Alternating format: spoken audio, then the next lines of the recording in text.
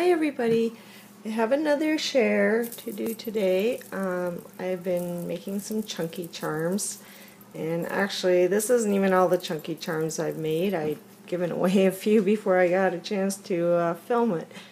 But anyways, they're pretty much like these ones, just different colors. So um, this is a nice blue one I made.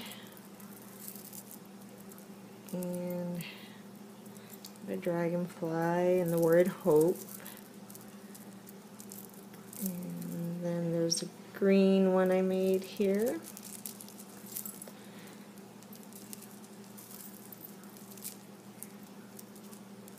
And these are just little packages that I kind of picked up that have the different color beads kind of all in them, except for the odd different ones, like these ones didn't come with it or anything, or the charms.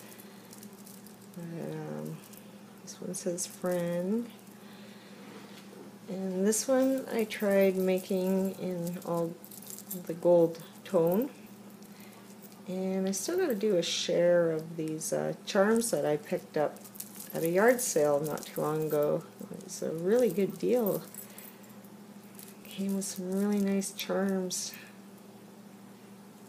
And that was from another haul that I got. And this one too, it's so pretty.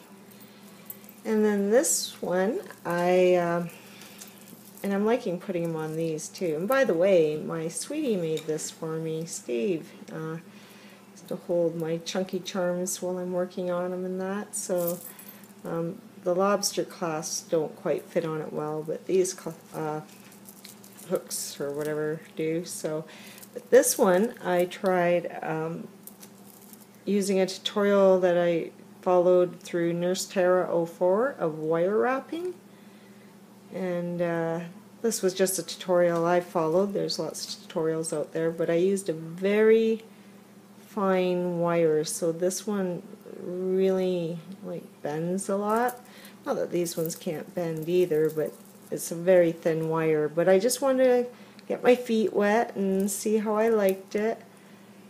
But um, yeah, I was really liking it, so I'm looking forward to getting getting a uh, heavier gauge wire and trying it. Um, I don't think this one's too sturdy. As I said, I was just trying to get my feet wet and see how I felt about doing this technique and uh, I really really enjoyed it. So I will be trying that again and I just wanted to share that today. It's, just something I do in my downtime when I'm not in my craft room. So decided to share that and thanks for watching everybody.